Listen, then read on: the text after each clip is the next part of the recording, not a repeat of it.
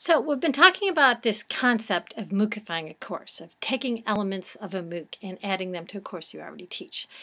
Uh, some of us have already done this. And, and the big question is why? Like, why would anyone do this?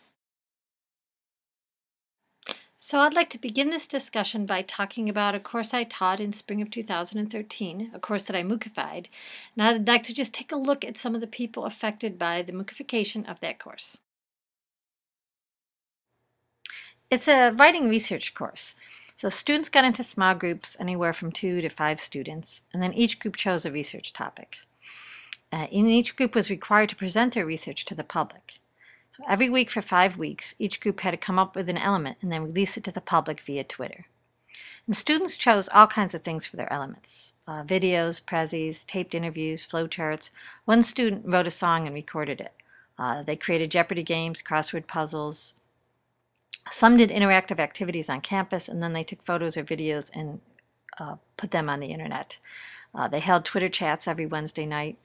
Uh, each group created a blog or a website or a Facebook page as a place to gather the elements that they had released.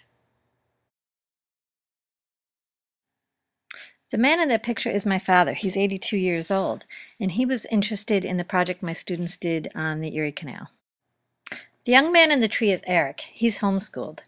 When college professors MOOCify their courses, that means high school students, whether formally educated or homeschooled like Eric, can get a taste of college courses.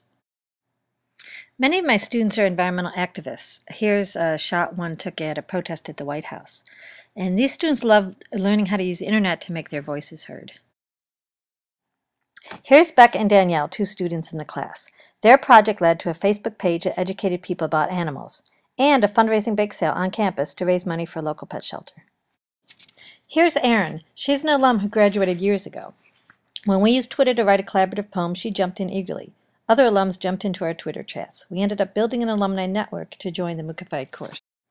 Uh, there's me, home in my living room on a Wednesday night, participating in a lively Twitter chat with present students, former students, colleagues, and people I've never met.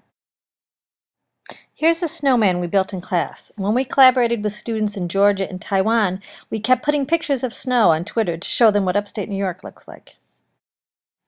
Here's John, a student in the course. He's one of the students who said, oh, when you teach this course next year, uh, let me know. I want to come in and, and talk about what we did.